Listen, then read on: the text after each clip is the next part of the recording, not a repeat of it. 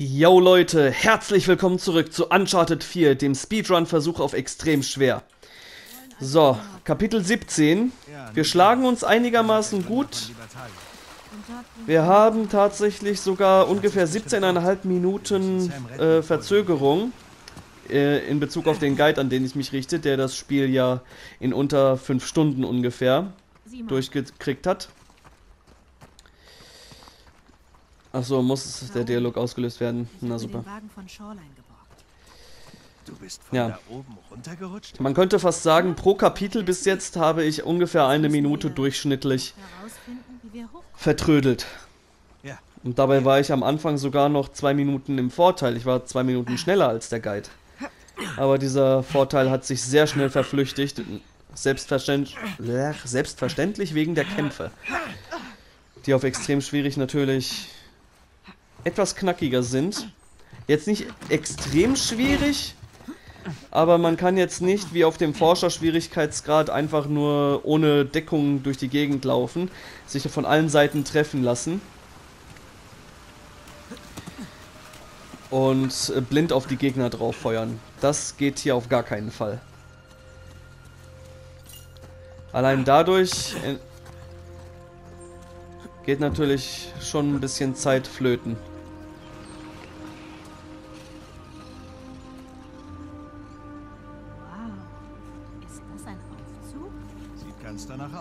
Mhm.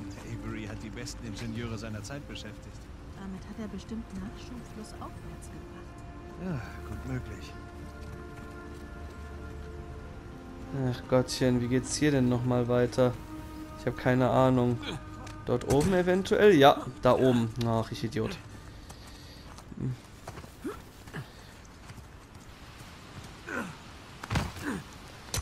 So. Ja,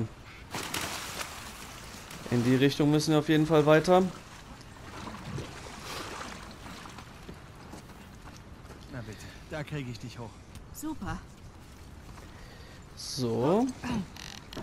Dann können wir uns auch schon mal in Position begeben. Helena wird jetzt eine kleine Weile brauchen, bis sie die Kiste nach unten schmeißt. Tut mir leid. Hey, meinst du, es gibt noch einen anderen Weg hoch? Äh.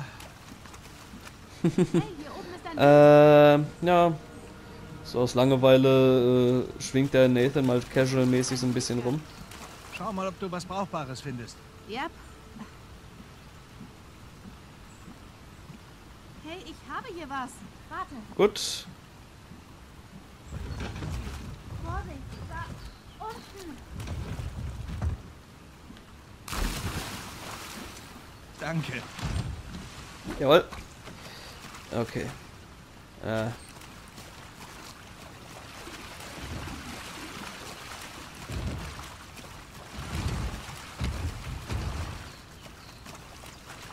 Sehr gut. Jetzt muss ich die nur noch hierhin platzieren. Das wird schon reichen. Wie, das reicht nicht.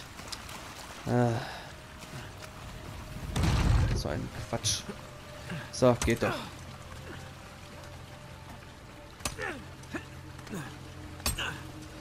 So. Wow. Hey, guter Sprung. Nicht schlecht, was? Super, so eine Frau zu verraten.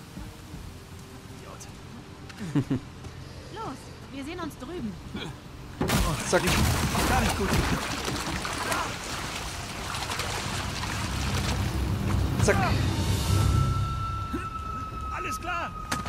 Halbwegs. Ah, da hätte ich, glaube ich, Alles direkt unter Kontrolle. Versuch hier hoch. Viereck drücken müssen. Dann wäre es noch einen Tacken schneller gegangen. Hier drüben.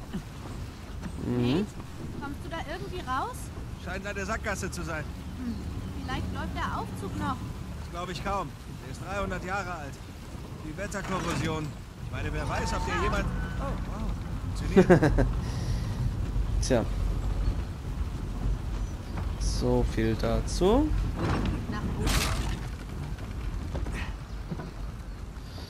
Ja, nach oben wäre gut. Danke. Dass das Ding funktioniert. Ah, dort. Geht's weiter. Weißt du, wer Sehen uns einfach oben.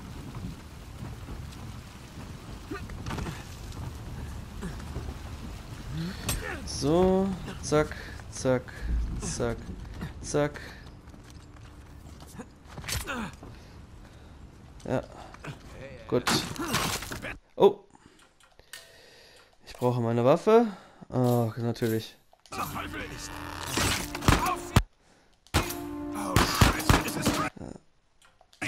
Äh, während ich ziele, kann ich natürlich meine Waffe nicht wechseln.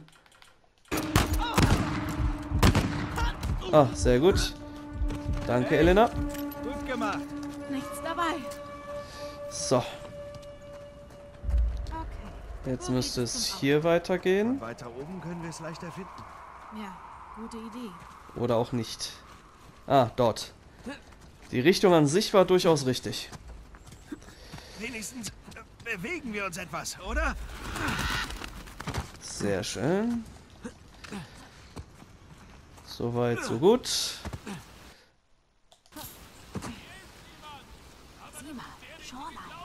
So, hier könnten wir ja theoretisch bis zum Auto schleichen, ohne dass uns einer sieht, aber, ganz großes Aber, das würde bedeuten, dass die uns ja sehen würden.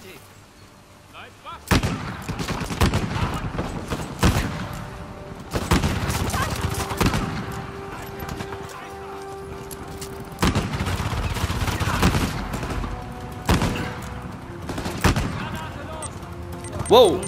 Alter, wie die mir fast ins Gesicht geflogen wäre. Das war ja jetzt geil. Oh, wow, wow, wow, wow, oh, wow, wow, okay. Ich hätte lieber an der einen Säule bleiben sollen. Das wäre sicherer gewesen. Dann wären die Gegner alle schön zu mir gekommen und die Granate, die müsste ja theoretisch äh, den Fluss runterfallen.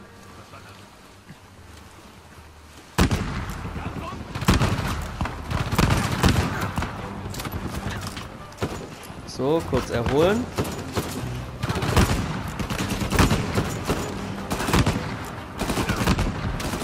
Gut. Oh, oh, oh, oh, oh, oh, oh.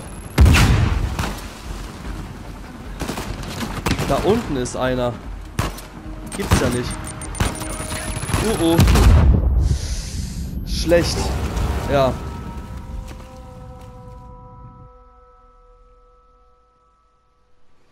Okay, vielleicht ist diese Säule fürs Erste doch keine allzu gute Idee.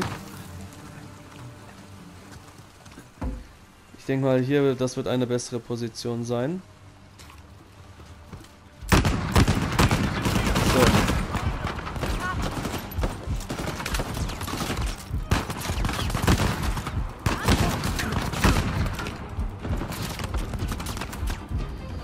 Komm schon. Ah. Komischerweise. Nachkommen! Nee. Das ist doch jetzt scheiße.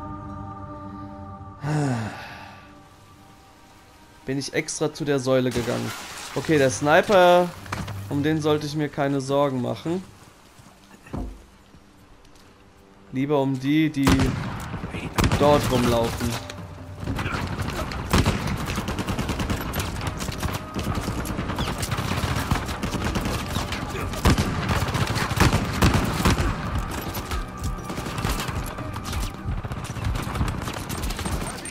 Alter, wie die immer perfekt die Drecksgranaten werfen. Und natürlich bin ich dann sofort tot. Das ist doch scheiße.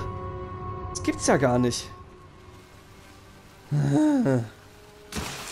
Dabei ist das eine ziemlich gute Position, solange man halt die beiden Gegner rechts äh, bzw. links hier zuerst erledigt. Das sind sogar drei, oder?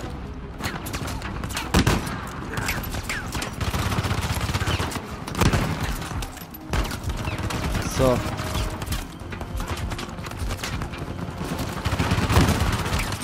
Yikes. Kann, kann ich bitte... Ich wollte mich an die Kante rollen. Wenn ich eine Granate dann kriege, dann kann ich der wenigstens ausweichen, wieder äh, mich erholen, hochklettern und dann wieder an die Säule. Das wäre so meine Strategie für den Anfang. Aber natürlich lässt mich das Spiel wieder mit.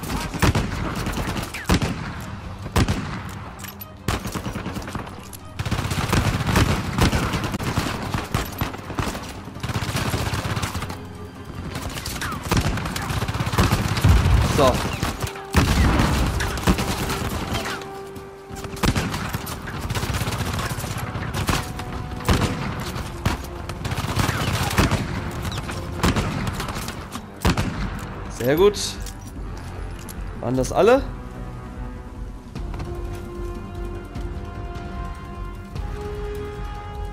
Irgendwie glaube ich es nicht, dass das alle waren. Aber der letzte Gegner traut sich vielleicht gar nicht raus, solange ich nicht mich bewege. Okay. Jawohl. Oh, ich dachte schon, das wäre jetzt ein Gegner. Und nicht Elena, die da, der da hochklettert. Gut, ab zum Jeep. Denn wenn wir alle am Leben gelassen hätten und uns zum Jeep geschlichen hätten, dann hätten die uns definitiv getötet, bevor wir damit hätten abhauen können. Definitiv.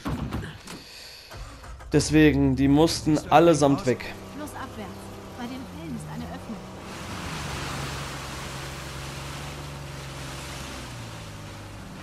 Das waren jetzt bestimmt auch wieder mindestens zwei Minuten, die ich auf den Zeitcounter draufrechnen kann, die wir in Verzug geraten sind.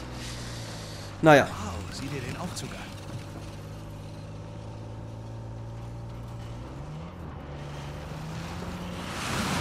so. Eine Frage hätte ich. Wieso will Rafe Adler Averys Schatz? Das Geld braucht er ja wohl nicht. Er will den Ruhm. Er will keiner sein, der nur durch sein Erbe reich geworden ist. Davonlaufen gibt es für ihn nicht.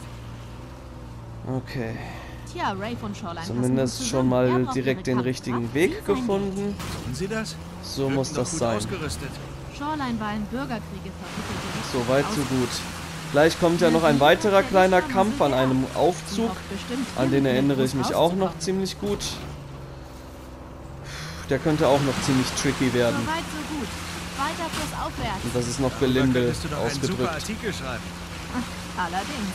Aber das würde wohl niemand glauben. Du könntest ja Fotos machen. Kamera nicht dabei. So ein Pech aber auch. Schon, jawohl. Und hier runter. Verrückte Vorrichtung.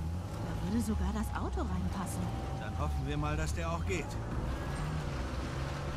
Hätte ich da... Ja, ich hätte da runterfahren müssen. Na super. Ah.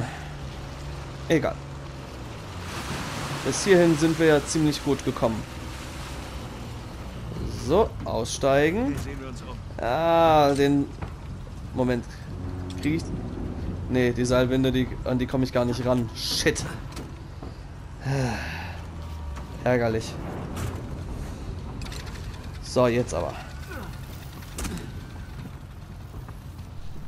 Na, können wir sowieso nur um die eine Säule dran machen. Ja. Hau raus.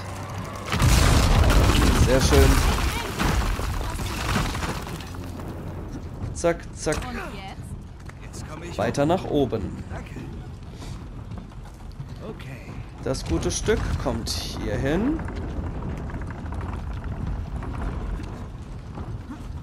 Jawohl. Hat gereicht. Hoch. Dann da raus. Puh. Wir haben, was die Klettersequenzen angeht, auf jeden Fall einen sehr guten Lauf. Zug, um den Aufzug zu reparieren.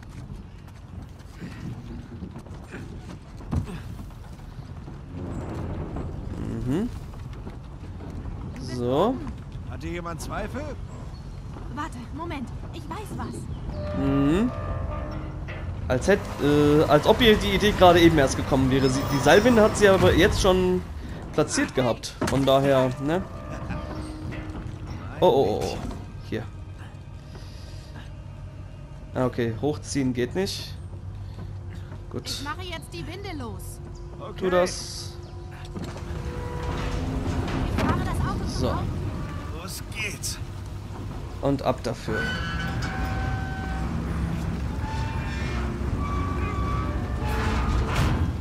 So. Aufzug funktioniert. Richtig? Ja.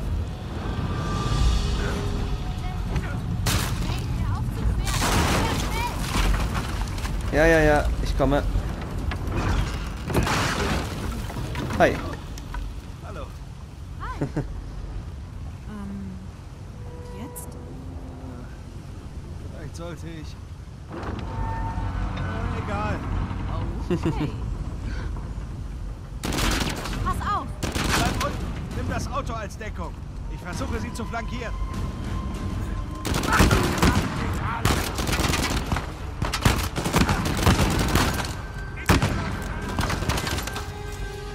So, Uh. Helena, alles klar bei dir? Ja, alles klar. Aber Soweit, so gut. Das ist ja nicht schlimm.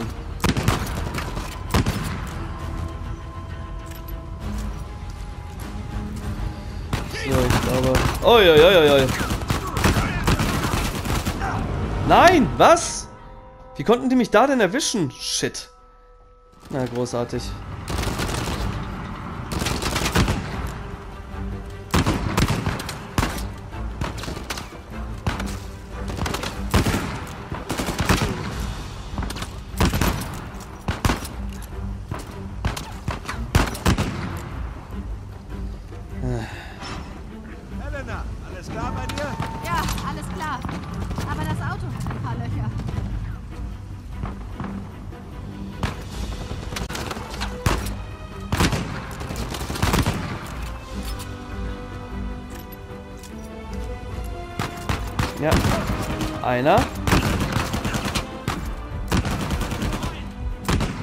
So.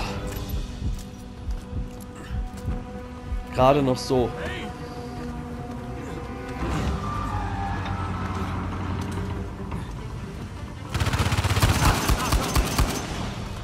Warum? Ach, dumm. Ja. Boah. Das war mehr als nur knapp. Aber zum Glück habe ich den Typen noch erledigt, weil sonst hätte er mir richtig in den Rücken schießen können. Só. Ju! Miese Drecksau.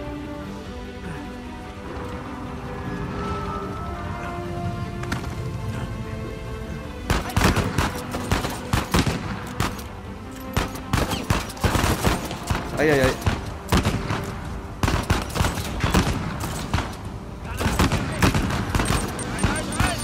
Uh. Dumm. Dumm.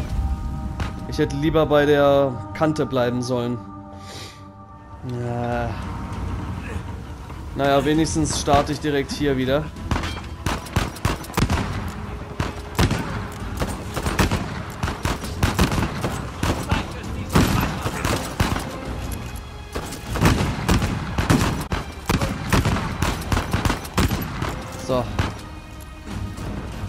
Müssen, müssten hier alle sein. Jawohl. Sehr schön. Dann ist hier ein leichtes Ziel. Und hepp. Heilung. Sehr schön. Okay, ich dachte, dieser Kampf würde deutlich länger dauern. Wir haben, ihn- wir haben ihn aber tatsächlich noch ziemlich gut meistern können. Bist du okay, Nate? Ja, Na, komm schon. Du fährst. sicher? Ja. Du machst das doch gut. Nach all dem brauche ich eine Pause. Definitiv verdient. So, Ich habe mir überlegt, diese Ah, ganze lang? Mechanik und Architektur sind doch nicht billig. Meinst du, vom Schatz ist überhaupt was übrig? Das haben wir uns auch gefragt. so Dille. Oh nein, nicht da runterfallen. Puh, so. Wenigstens haben wir die Kämpfe in diesem Kapitel schon geschafft. Das alleine ist für mich persönlich eine Menge wert. So. Moment. Aha, Ah, so. sehr Ich gut. hab die Kontrolle wieder. Wir sind bald da. So muss das Du sein. hast nicht zufällig was zum Umziehen dabei, oder? Ja klar, Super. im Flugzeug. Nicht super. Super. Fahren wir durchs Schleusentor. Ja. Allerdings muss ich hier lang, um am Ende oben beim Schleusentor anzukommen. So. Also meine Vermutung wird sein, unser, unsere Verspätung in Anführungszeichen bezüglich des Guides hat sich vielleicht auf 18, aller allerhöchstens 20 Minuten gesteigert. Hey, das klappt nicht. Ist blockiert. Okay, ich versuche das andere. Mhm. Das hätte man ahnen können. So, Hinter Tür Nummer zwei. befindet sich der richtige Ausgang.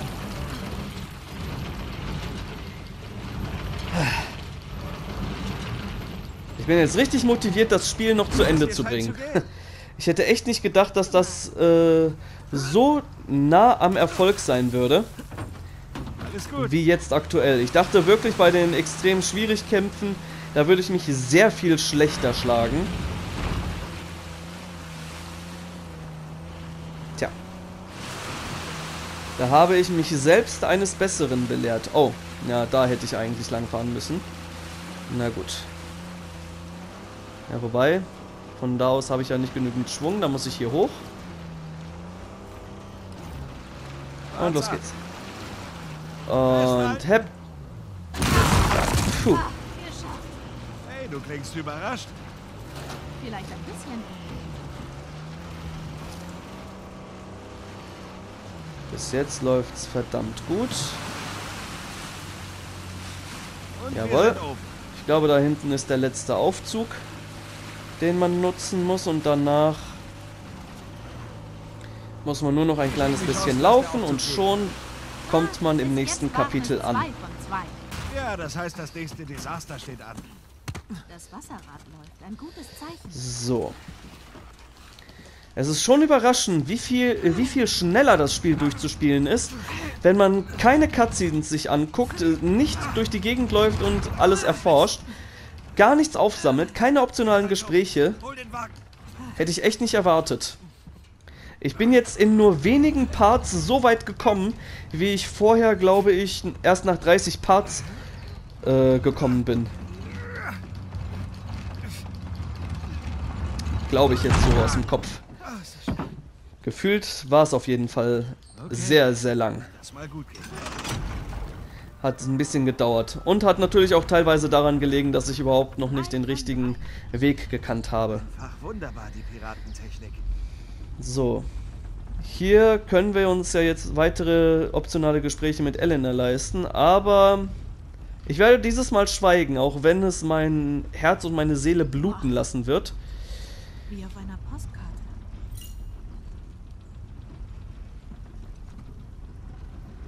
Ja, und Nathan sagt nichts. Ah, ich würde so gerne, aber ich will nicht riskieren, dass dadurch am Ende noch irgendwie, äh, keine Ahnung, die Sequenz ein bisschen in die Länge gezogen wird. Möchte ich nicht. Ah, jetzt ist es schon nicht mehr möglich. Gut. Also ist es zeitlich begrenzt. Bis ungefähr zu dieser Stelle. Alles klar. Kann ich mich schon in den Wagen setzen? Wahrscheinlich erst, wenn sich das Tor öffnet, oder?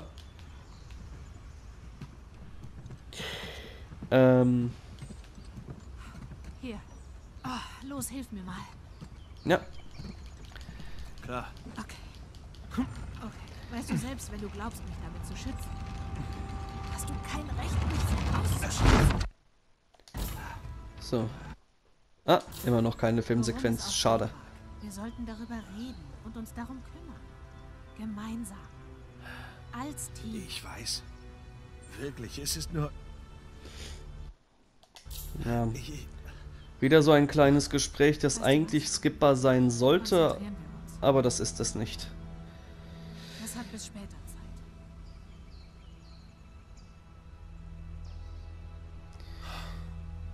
Zeit. So. Ab in den Wagen. Nächster Halt, New Devon. Ähm. Ah, jetzt. Ah, diese Musik in Kombination mit dieser Umgebung bei mir. Ein perfektes Zusammenspiel von der Spielkulisse und dem Soundtrack. Einfach nur wunderschön.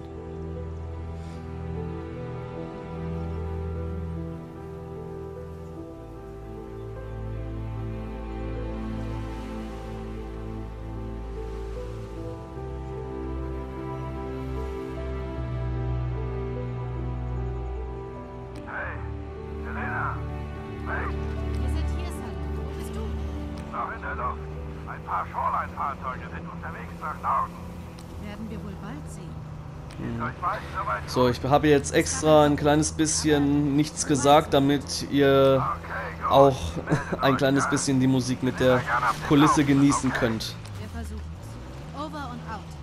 Äh, nope. Da lang. Okay, wir müssen über die Brücke rüber. Das wird witzig. Wie immer.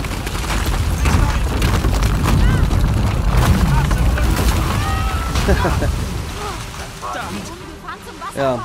Und diese arme Brücke Nathan Drake hatte nur noch 10 Tage bis zur Rente. Und du hast sie getötet. Böser Nathan.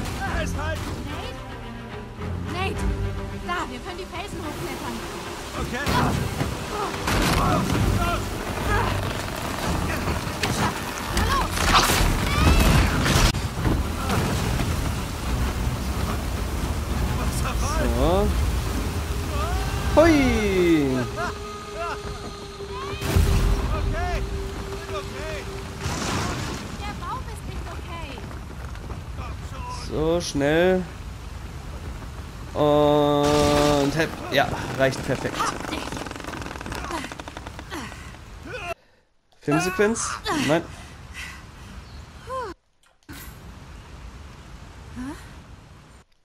Ja, Filmsequenz.